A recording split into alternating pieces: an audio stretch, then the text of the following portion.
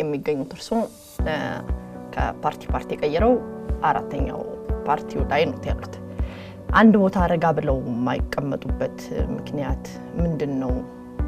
ከፓርቲ ፓርቲ ሲዞሩ መሸቦት እንዴት አድርገው ሌሎች ስራዎችን ይሰራሉ? አሁን ብርቱካን በምርጫ ቦርድ ሰብሳቢነት ከመመረጧ ውጭ ምን ተደረገ? እስቲ ንገረኝ። አሁን በምርጫ ቦርድ እስቲ አንድ የሰማያዊን የክስ ታህሳስ 14 ቀን 2008 ዓ ም ያለውን አነብሎታለሁ። እዚህ ፍርድ ቤት ያለው አነብሎት።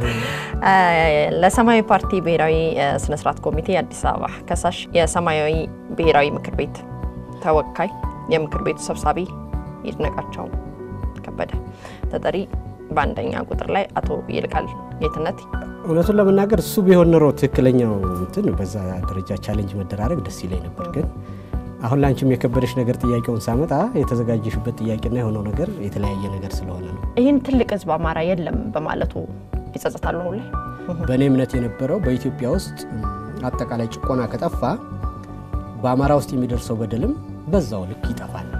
ቀንተዋል። ምን ይቀናሉ። በዶክተር አብይ የኢህአዴግ መሪ ለመሆን ምንም ድሉም የለኝም። የኢህአዴግ መሪ ሳይሆን እንደው የተወደዱ መሪ በመሆናቸው ይቀናሉ።